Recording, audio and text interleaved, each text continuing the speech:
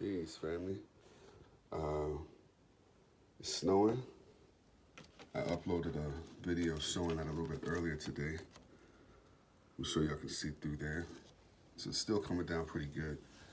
So I wanted to just take a minute to show you all what I have going on inside.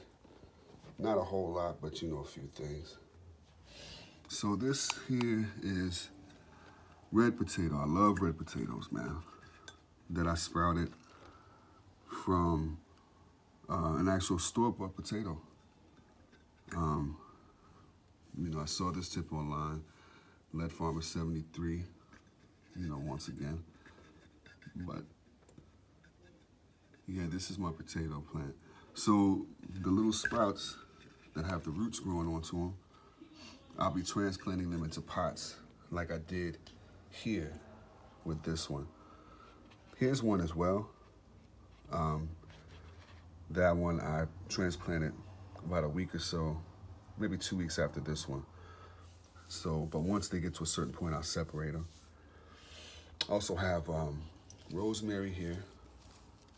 I've got rosemary, a bigger one outside, but this is the one I keep inside. And I just trim off her every now and again. This is a pomegranate that I grew from seed. I actually have two other ones in another container and a windowsill at my job. But that's the one that I have here. I'll probably sprout another one as well. Nothing in here right now. Um, but I'm going to put uh, moringa seeds in that one to get that sprouted. Here I got some leeks.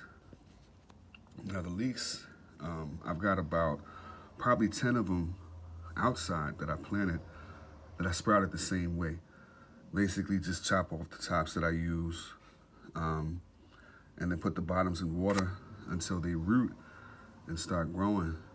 The green parts of the leeks I use for compost for like my pots and things like that, my raised beds.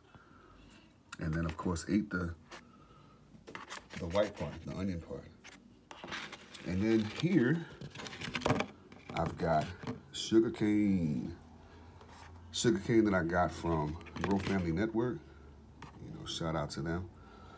And um, I had, I think it was two that they sent me that uh, that I purchased from them, and I cut them in half because I cut them where the nodes were. I got one that sprouted, and really, that's all you need, man. You know, if you get one that sprouts and takes off, you know, you can have sugarcane for life. So shout out to them for the sugar cane and shout out to them and Lead Farmer 73 again for sugarcane tips. So once it gets warm outside and this grows more, it'll be transplanted outside. And I think I'll be good from there with that. But anyway, that's about it. Um, you know, I'll share more projects with you later on, but this is just the you know, a little uh, short video of what I have going on inside. All right, but for now, y'all stay warm, stay safe, and peace.